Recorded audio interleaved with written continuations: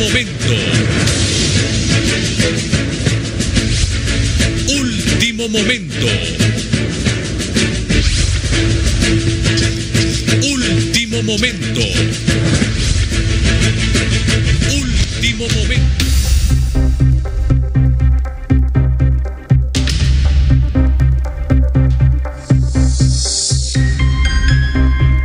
Sigue tomando fuerza ETA. Según, según los conocedores de este tema, al tocar tierra puede tomar categoría 4. Se espera una marejada ciclónica potencialmente mortal. Esto no es juego. Esto no es juego.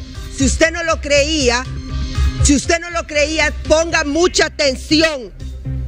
Pueden ser vientos catastróficos, inundaciones repentinas, deslizamientos de tierra en partes de América Central, según el Centro Nacional de Huracanes.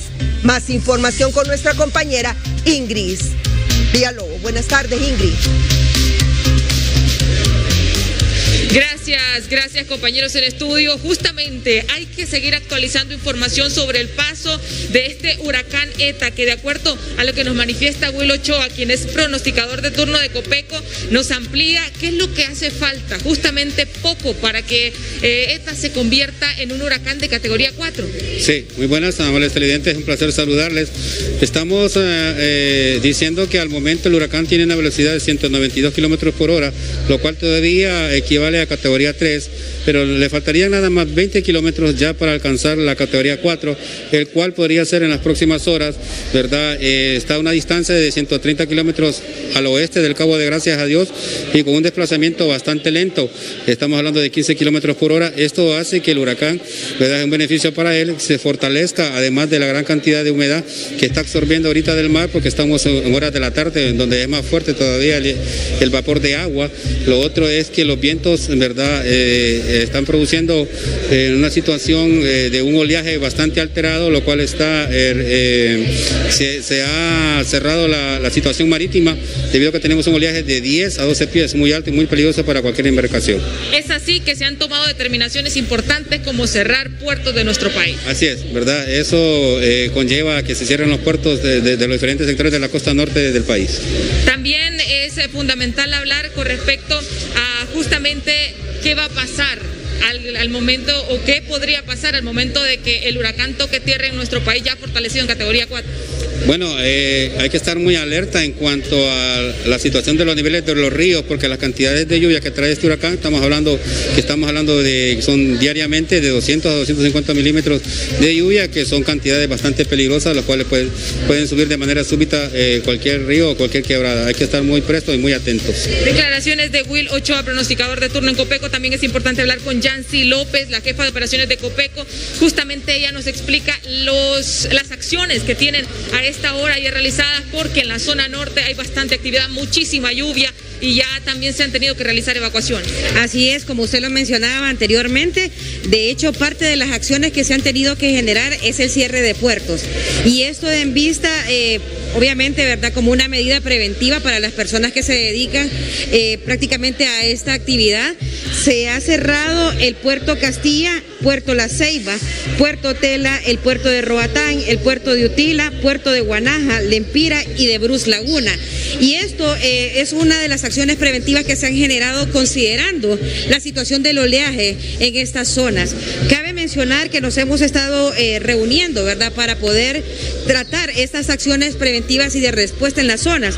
Ya prácticamente hemos coordinado con los eh, municipios y específicamente, obviamente, con los alcaldes, los gobernadores de esta zona y con las fuerzas vivas.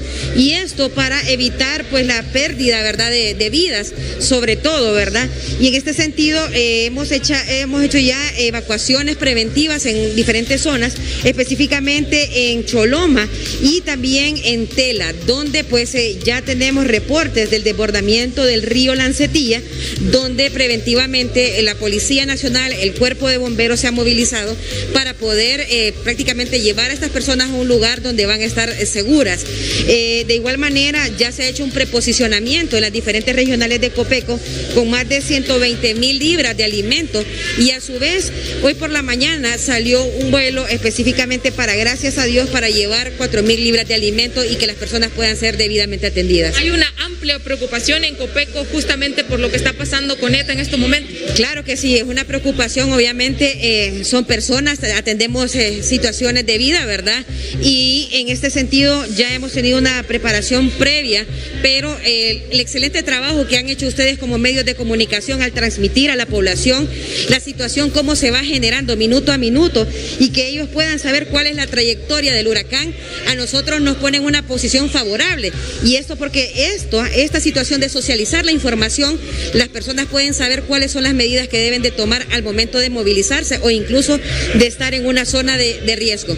Las autoridades que lideran Sinajer y la representación que tienen de Copeco eh, están considerando tomar medidas más fuertes tomando en cuenta de que eh, el feriado morazánico inicia eh, de manera oficial a partir del miércoles. Bueno, de hecho, eh, prácticamente parte del sistema de alerta temprana que hemos tenido es la emisión de estas alertas y sobre todo que las personas puedan ver realmente cuál es el pronóstico que predomina. Si bien es cierto, eh, pues eh, las autoridades de Sinajer dejaron abierta la situación de la semana morazánica, pero depende de cada persona el hecho de movilizarse y conocer la situación. Como les decía, ustedes han hecho una gran cobertura de minuto a minuto lo que está sucediendo en cada lugar para poderle manifestar a la población cuál es la situación. Pero honestamente, en este momento no se le recomienda a nadie ir hacia la zona norte, que es una de las más visitadas en eh, cuanto a turismo.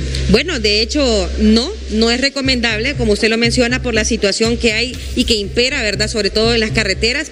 Y sumado a esto, la imprudencia de muchas personas al momento de conducir. Y en este caso, obviamente, sabemos que las condiciones están totalmente diferentes para el sur.